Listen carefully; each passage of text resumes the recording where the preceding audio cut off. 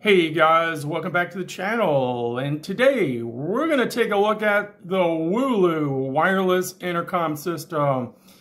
Claims to have 10 channels and 3 codes, whatever that means. Sounds really secure, doesn't it? Well, we're going to take a look, close look at this guy and see exactly how how it operates. There it is there. Looks really nice. Uh, looks really cool. And we're going to dive into him here he is here uh, for sale on Amazon. I picked this up last week. Claims it's for homes, businesses, room-to-room -room intercom, communication two-pack. Uh, has really good reviews, I'd say. 4.2 out of 5. People seem to like it. But there's nothing to indicate how secure your communications is when using this. Um, sounds like it's secure because it says it has three codes um, in 10 channels, but is it digital? What exactly is it? Well, we're going to dive into it right now. Stick around. So the first order of business, we're going to look at the, uh, the nameplate on the bottom. It says 10 channels, 3 code, 1 mile range FM wireless intercom system. Hmm, I wonder what frequency this thing is working on. Okay, we know it's FM. We know it has 10 channels, but there's the FCC ID. And this thing actually has FCC certification. Uh, probably half the stuff on Amazon doesn't, but that is great because we can look it up and there it is right there. So we're going to dive into that right now. I'm just going to switch cameras. Okay, guys, we're looking at the FCC report. One thing, uh, when something does have FCC certification, it will have this FCC number on it, which identifies the product. Um, what's really cool is if you're trying to figure out how this thing works, what frequency it's on, what is it doing, the FCC report will tell you everything. And actually, it probably gives away too much information because now I know everything about this product. Um, and I'll show you just quickly here what what we have, uh, first of all, the, the test setup. This is typically done by a third-party laboratory, and there it is. It's a third-party certified laboratory. There is the intercom there uh, being subject to test in an RF uh, chamber, Faraday cage-style chamber, and there's an antenna pointed at it. So what we're really looking at is this one here, the exposure info will give us the frequencies. And I scroll down here. I'm getting close. Okay, and there we are. And right away, FRS. Wow. Well, what is FRS? That's Family Radio Service. It's a bunch of Spectrum, FCC, probably about 25 years ago, put aside for unlicensed use uh, half a watt maximum, which is shown right there. And uh, yeah, it's basically your kitty walkie-talkies. Uh, that's what's operating. Now, what's really interesting is it's showing the intercom. Channel 1, they're actually using, uh, okay, we'll get into this later, but it's showing here channel 2 through 10, or basically those are standard FRS channels.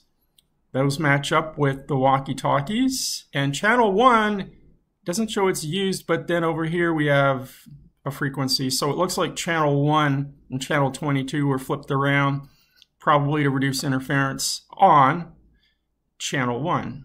So there you go, guys. We now know that this is operating on the FRS band. So now we can do a little bit more close-up analysis.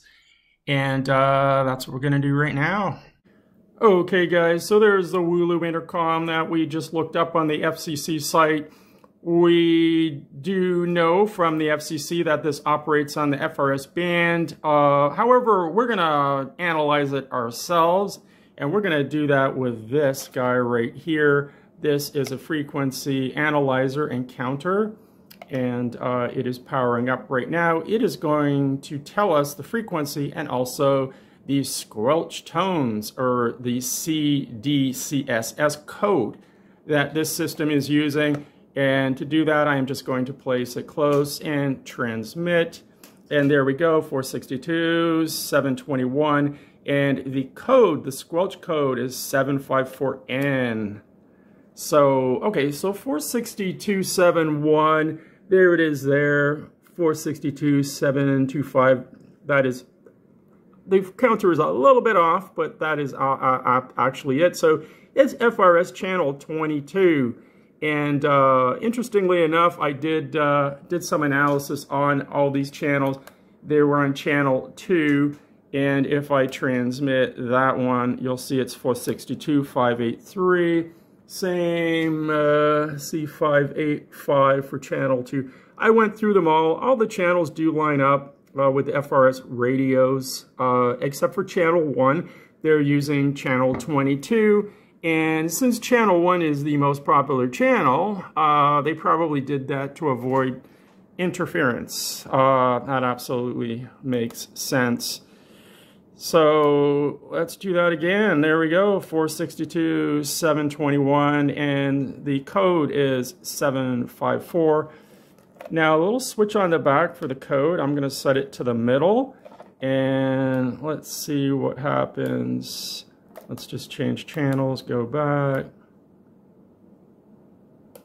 743. Okay. And so they're using 743 for the middle one. And let's do this one here. 734. Okay, so there's your, your codes. Uh, clearly it this is just a digital squelch. Now, what is interesting about that is the FRS radios themselves, the walkie-talkies, they typically use tone squelch. I actually have, have an old Motorola here, and uh, these use tone squelch. So this radio won't trigger that intercom if it's on channel 22. However, this radio, you could turn off the squelch. And if you're on channel 22, you would probably pick up that intercom. So, oh, let's let's try that. Okay, hold on, guys. Okay, so I've got the FRS radio on here, and we are going to go to channel 22. And then we're going, that that that's the code, the number one. Um, if we turn that to zero and we save that, this radio is now squelched by carrier and not by any kind of code. And sure enough, if I go over here, oh yeah, there you go. We'll turn that down a little bit. Hello, hello, hello, hello. Yes, hello. This is this is very insecure communications happening here. Let's try that again. Yeah.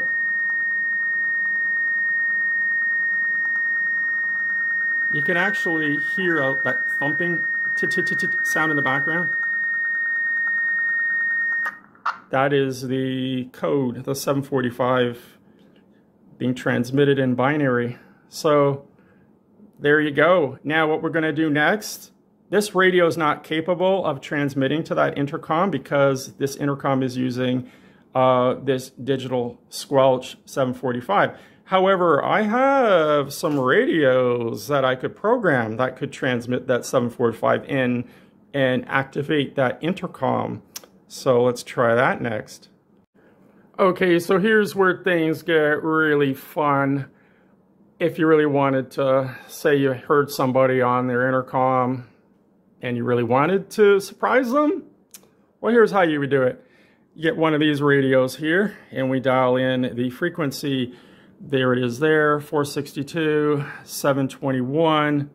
Uh, and this radio allows me to punch in the squelch tone. Nine. Whoops, hold on, I gotta do function.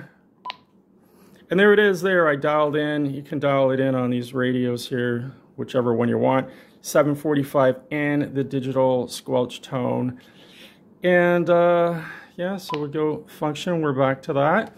And now if I pick up this walkie, there we go, see? I'm activating them all. Let's put this guy back on.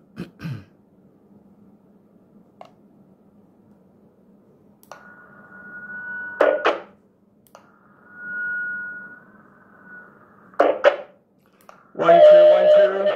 One, two, one, two. One, two. Well, we're to have to cut the volume down in these things. Uh,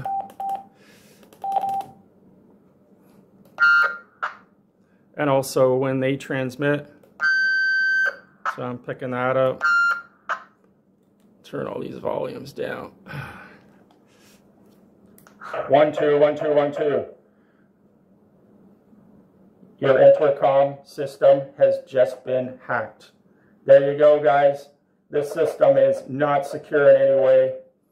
And uh, if you thought this was secure comms in your office, you are wrong. I can pick this up probably a mile away.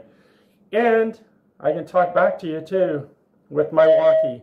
My walkie-talkie right here, guys. okay, so there you go. And if I'm using the intercom, look at that, picking it up in all these radios.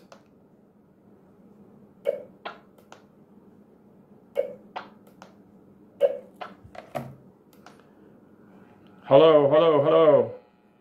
Hello, yes. Hello, my secretary. Can you bring me in some water? Yes, boss, I'm on my way. Well, there you go, guys. Not very secure, is it? Have a good one.